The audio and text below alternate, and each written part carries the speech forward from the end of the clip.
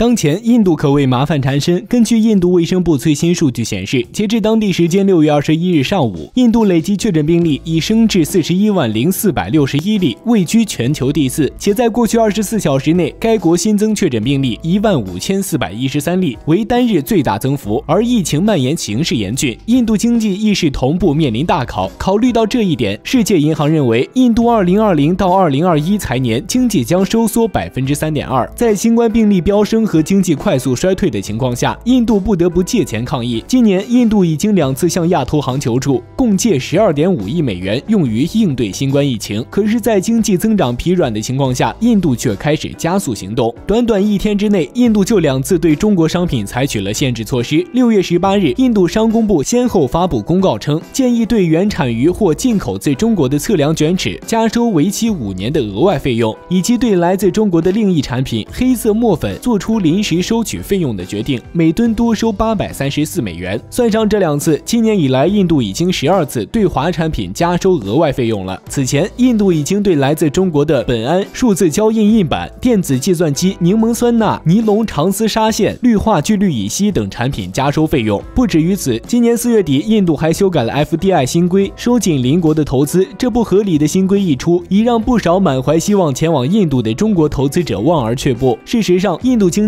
自二零一八年起已显现疲态。二零一九年四月至二零二零年三月，印度经济增速仅为百分之四点二，远低于上一财年百分之六点一的增速。如今受疫情和蝗灾的双重打击，印度经济离崩溃只差一步了。显而易见，在当前经济重度萎缩的情况下，印度最明智的办法就是与各大贸易伙伴密切联系，争取扩大对外出口，增加收入，提振经济。毕竟中国是印度最重要的贸易伙伴。二零一九年中印的贸易总值。达六千三百九十五点二亿元人民币，同比增长百分之一点六，并且中国还是印度重要的投资来源国。截至去年十二月，中企在印度的累计投资超过八十亿美元。印度本该对中国市场和投资拿出更多诚意，却偏偏反其道而行。为了让印度制造走向国际，六月十八日，印度方面表示将计划对来自中国和其他地区的三百种商品设置关卡，包括提高其中一百六十到二百种产品的进口费用，剩余的一百种产品则。则会实施更严格的质量检查。在本国经济已经不景气的情况下，这可能是对印度经济及印度制造的另一种伤害。